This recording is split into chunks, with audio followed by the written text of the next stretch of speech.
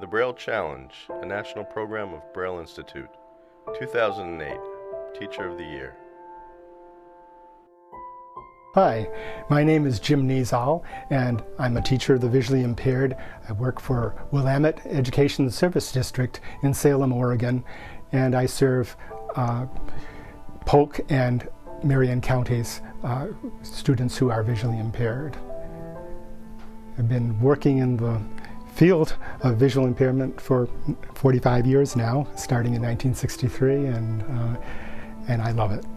I actually learned Braille itself uh, with little slate and stylus uh, on a correspondence program through the Library of Congress. That was the only way that I could learn it. They didn't even lend me a Braille writer.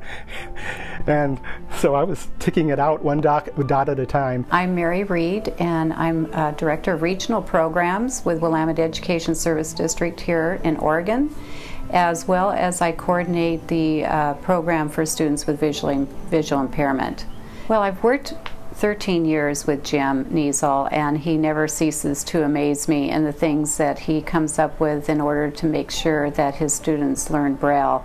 Jim was always looking for the answer, and I am so thrilled that the Braille Institute of America has recognized this and recognized Jim I'm Diana Christensen. I'm the special ed teacher here at Whitworth, and I case manage about 24 students in the building. Braille is brand new to me and to my staff. No one in the building here had worked with a visually impaired student before, and uh, Jim trained two of my EAs to read and write in Braille. I think Jim is a fabulous teacher. He has so much enthusiasm uh, for the kids, and he's been doing this a long time, but he's still very passionate about it, and it's amazing the work he's done. Well, Braille is the, the primary reading uh, medium for uh, people who can't read with their eyes, and it, it, it opens up great vistas. Uh, I have worked with several students that lost their vision at some point in their life,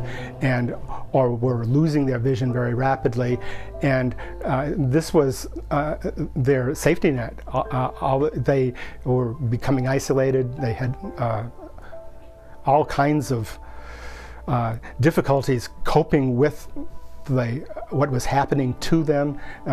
and once we got going with the Braille and they established some confidence and they found that they could read and write and they could be fully participating in their classes, the world opened up again for, for them. Hi, I'm Sally Jameson, Vice President of Programs and Services at Braille Institute. I'm so excited I get to talk about the 2008 Teacher of the Year, Jim Niezal. Out of 10 nominees this year, we found that it was Jim Niezal's range of skills and depth of commitment that so impressed our committee. But how did that happen? You know, he actually developed his own literary braille code curriculum, including a lesson in that specialized, really hard code of mathematics. And it showed such imagination and creativity because he developed all kinds of games and things to help kids identify good braille, to practice what's correct, and to identify difficult braille words.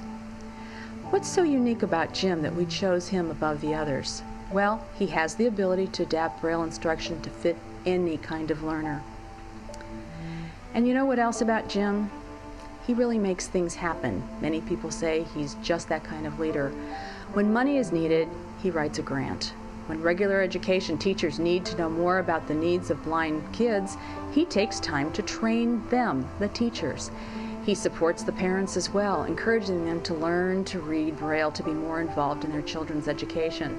And all of you parents out there really know how important that is. He's also skilled in assistive technology and an advocate for getting his kids devices that will help them succeed. He does things like come in early to help staff learn about the adaptive needs of his blind students, or to work with a student at their home to help them get their adaptive computer set up. You know, all of us remember a teacher who made a real difference in our lives. I think Jim Niezal is one of those kinds of memorable teachers to his students, to their parents, and to his peers as well. Jim, congratulations. We're thrilled that you're the 2008 Teacher of the Year. I love teaching. I, I love uh, working with kids and uh, finding out what their le learning styles are, what makes them tick, what puts them on fire, and then I find ways to uh, implement that, and then I just sit back and, and watch the excitement.